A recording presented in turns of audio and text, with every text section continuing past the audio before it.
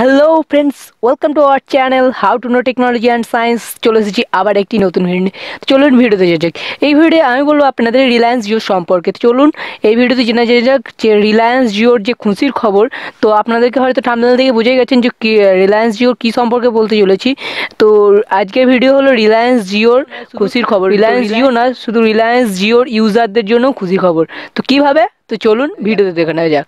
তো ভিডিওতে যাওয়ার আগে বলে দিই যারা আমার চ্যানেলটিকে এখনও সাবস্ক্রাইব করেনি তারা এক্ষুনি সাবস্ক্রাইব করুন এবং পাশে আসা বেল আইকনটিতে প্রেস করুন যাতে পরবর্তী আসার ভিডিওগুলির নোটিফিকেশন আপনি পেতে পারেন।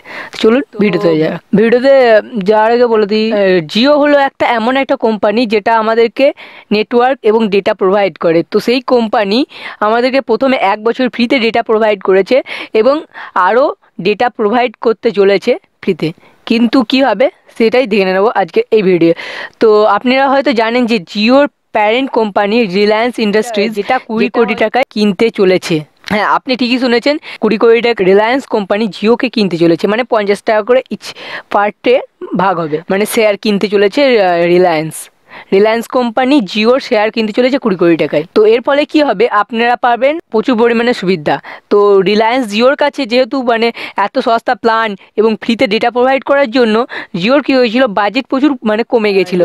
রিলায়েন্সের এটা করার ফলে জিওর কাছে বাজেট চলে এলো এবং ওই বাজেট দিয়ে রিলায়েন্স জিও কি করবে? ওই বাজেটটা দিয়ে তাদের ব্রডব্যান্ড পরীক্ষা করবে এবং তাদের ফাইভ জি লঞ্চ করতে আমাদেরকে সুবিধা দেবে। মানে ফাইভ জি টেস্টিং করবে। আর ফাইভ জি এখনও লঞ্চ হচ্ছে না মানে অন্যান্য কোম্পানি ফাইভ জি টেস্টিং শুরু করে দিয়েছে।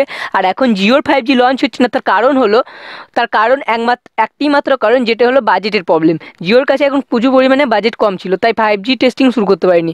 কিন্তু অন্যান্য কোম্পানিগুলো ফাইভ জি লঞ্চ করতে পারছে না তার কারণ হলো মানে সরকারের কাছ থেকে এখনও পারমিশন পায়নি যে ফাইভ জি লঞ্চ করা। ফাইভ জি লঞ্চ করলে কত ক্ষতি হতে পারে মানে রেডিয়েশনের প্রভাব সেটা তো আপনারা হয়তো জানেন। যদি না জেনে থাকেন এখনই কমেন্ট করুন। এবং আমি সেই রিলেটেড একটা ভিডিও বানিয়ে দেবো রেডিয়েশন কী রেডিয়েশন সম্পর্কে সমস্ত ধরো রেডিয়েশন কীভাবে ক্ষতি করছে মানুষের মাথাকে, মানুষের বুদ্ধিকে, তো সেই রিলেটেড আমি একটা ভিডিও বানিয়ে দেবো। তাই যদি যদি জানতে চান ভিডিও যদি পেতে চান, তাহলে নিচে অবশ্যই কমেন্ট করুন অথবা এই আই বাটনে প্রেস করে আপনার ইয়েস অর নো ক্লিক করে দিন।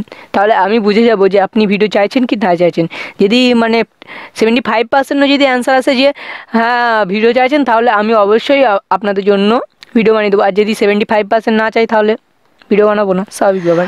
আর বলে দিই, আর, হুম যেটাতে ছিলাম, আর এরপর এই এই কুড়ি কোটি টাকা দিয়ে কি করবে? জিও ব্রডব্যান্ড লঞ্চ করবে, এবং ব্রডব্যান্ডটা ব্রডব্যান্ডটা লঞ্চ করার পর লঞ্চ করে দিয়েছে অলরেডি কিন্তু আবার সব জায়গায় লাগা, লাগাবে, এবং five G launch five G testing শুরু করবে। ফাইভ জি টেস্টিং শুরু করার পর সব থেকে আগে তো বলতে পারা যাবে না, কারণ ফাইভ জি যখনই মানে পারমিশন পাবে জিও, যে ফাইভ জি লঞ্চিংয়ের জন্য, তখনই জিও ফাইভ জি লঞ্চ করবে ইন্ডিয়াতে তো ভিডিওতে দেখার জন্য অনেক অনেক ধন্যবাদ। দেখাবে নেক্সট ভিডিও আর ফাইভ জি রিলেটেড বা অন্য কোনো রিলেটেড যদি কোনো কোশ্চেন থাকে জিও রিলেটেড কোনো কোশ্চেন থাকে, নিজেদের অবশ্যই কমেন্ট করবেন এবং যাতে এবং চ্যানেলটিকে সাবস্ক্রাইব করবেন এবং যাতে পরবর্তী ভিডিওগুলোর নোটিফিকেশন পেতে পারেন।